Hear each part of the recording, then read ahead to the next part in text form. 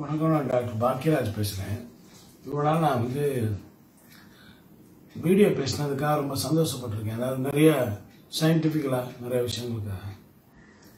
நேற்று நேற்றைய தினம் வந்து doctor Simon Hercules New Hope medical சென்டரோட chairman managing director இறந்து போனார். அப்சல்யூட்லி அவர் வந்து கோவிட் நைன்டீன் பாசிட்டிவாக தான் இறந்து போனார். பதினஞ்சு நாள் வந்து அப்போலோ க்ரீம்ஸில் இருந்து ட்ரீட்மெண்ட் பலன் இல்லாமல் இறந்துனார் இறந்து போனார். அவருடைய பாடியை வந்து நாங்கள் ஒம்பது மணிக்கு வாங்கி அடக்கம் பண்ணணும்னு முயற்சி பண்ணோம். ஒரு சில பொதுமக்கள் எங்கேயுமே அவரை வந்து அடக்கம் பண்ண விடலை.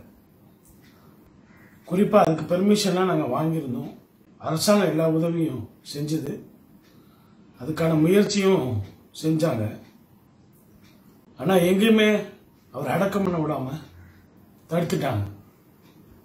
இதை நான் என் கண்ணீரோட பதிவிடுறதுக்கு காரணம் ஒரு சிறந்த மருத்துவர் இந்த உலகில் தன்னை ஒரு பெரிய மருத்துவர் நிரூபித்தார் ஆனால் அவரை அடக்கம் பண்ணுறதுக்கு அனுமதிக்காத ஒரு மக்கள். யாருனால அவருக்கு வந்து இந்த கோவிட் நைன்டீன் பாசிட்டிவ் வந்ததுன்றது உங்களுக்கே தெரியும். மக்கள் அவரை பார்க்கல அப்படின்னா அவர் அவரை ரெஸ்ட்ரிக்ட் பண்ணிட்டு பார்க்காம இருந்திருந்தாருன்னா இன்னைக்கு அவருக்கு அந்த நிலைமை இல்லை. நேற்றைய தினம் ஒரு இடத்துல நாங்கள் போய் அரசாங்க உதவியோட அவர் அடக்கம் பண்ணலான்னு போகிறோம் ஐம்பது அடியாட்கள் மாதிரி வந்து கல்லையும் கட்டையும் வச்சு எல்லாரையும் அடித்து அதில் முக்கியமாக வந்து பார்த்தீங்கன்னா அது ரொம்ப உதவி செஞ்ச சானிட்டரி இன்ஸ்பெக்டரை பயங்கரமாக தாக்கி கிட்டத்தட்ட ஏழு பேர் அதனால் தாக்கப்பட்டு மருத்துவமனையில் அனுமதிக்கப்பட்டிருக்கிறாங்க.